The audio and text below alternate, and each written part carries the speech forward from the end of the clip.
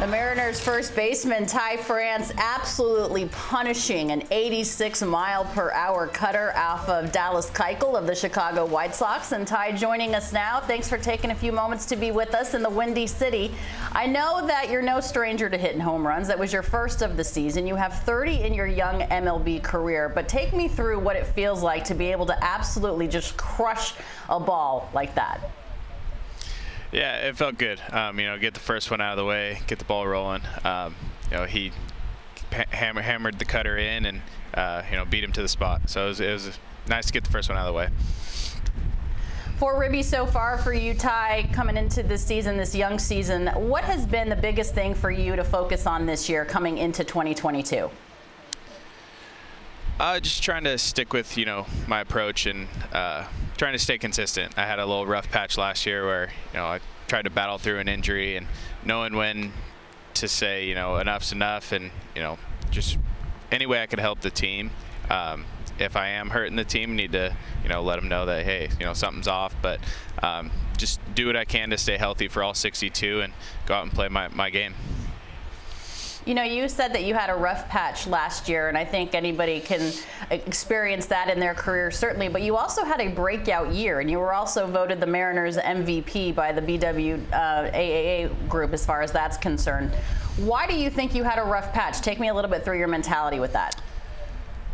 Um, I was actually battling a little wrist injury. Um, we were in Houston. I dove for a ball and, uh, you know, kind of bruise. I, there was a bone bruise on my wrist, and uh, know, just tried to push through it. Um, I've always been the kind of person to push through things, and it got to a point where you know it was not only hurting myself more, but hurting the team more.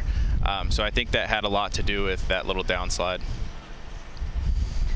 Tied for Major League Baseball with 27 hit by pitches yesterday. You would make Chase Utley proud, uh, as well as Don Baylor. What is it about that part of your game that you appreciate so much? Um, you know, I, I wish I had an answer for you, but it's just always, it's, it's, I've done it since college, so I, I've, you were praised for not getting out of the way in college, so it, it just kind of stuck with me. Um, you know, it's it's been something I've done my entire baseball career, and I, I don't enjoy it. It hurts, but you know, it helps the team. So uh, you know, I don't I don't walk a lot either, so I, it gets me on base. So whatever I can do. Literally taken one for the team. It is cold there in Chicago. It appears to be. It is windy. You guys have gone to a couple of cities that are cold. How excited are you to get back home to Seattle, have your home opener, be in front of your fans, fans that are very eager to see what this Mariners team can do this year?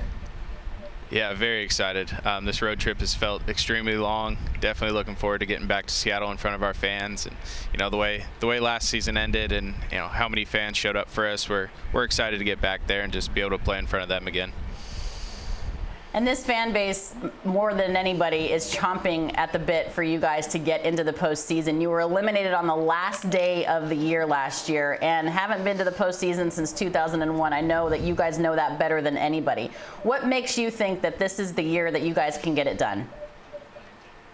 Um, I, th I, think we're a little bit older now. We have a little more experience, and um, you know, we the front office added a bunch of key additions to this team, and um, it's a good good group of guys we got over there. We've we've meshed really well, and um, you know, I, I, think this team's set out to do do big things from from the young guys all the way to the the oldest guy on this team. You know, it's it's a good group, and you know, we're excited to you know give these fans what they deserve.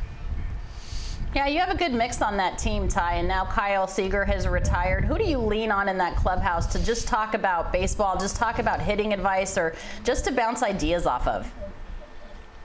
Um, my, my go-to guys are Mitch and JP. Um, you know, along along with Kyle last year, they they helped you know push me along, and um, they're very smart baseball guys. So to be able to lean on those guys and use them, it's it's been huge in my development. A Downey, California kid, you went to San Diego State. You were coached by one of the best, and Tony Gwynn Sr., one of the greatest to ever play this game. What was it like being coached and, and taught by a Hall of Famer?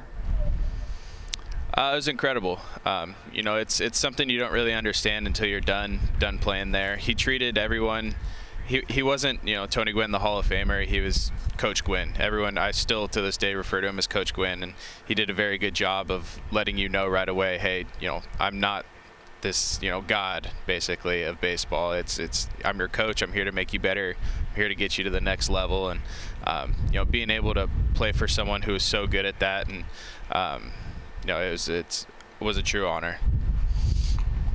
Ty, your fourth season in Major League Baseball, but as we mentioned, you're a San Diego State um, kid. you you grew up in California. You're drafted by the Padres. What was that moment like for you? I mean, not only going to school right down the street, but being able to realize your dream uh, with the with the Friars. Yeah, that was that was pretty cool. It was a surreal moment. Um, one, just hearing your name called um, you know, on draft day, and then going through their system. You know, being a 34th rounder, you're not really expected to go very far, and um, you know they, they treated me they you know very well. So I have to thank them a lot for that, and um, you know getting to step step out on the field at Petco Park for the first time that was that was pretty crazy too. But um, yeah, you know, not, nothing but love for San Diego. Ty, it doesn't matter that you were drafted in the 34th round. You were a big leaguer. You're in your fourth big league season, your first home run of the year last night. Many more to come. Thanks so much for taking the time to be with us today on High Heat. Yeah, of course, anytime.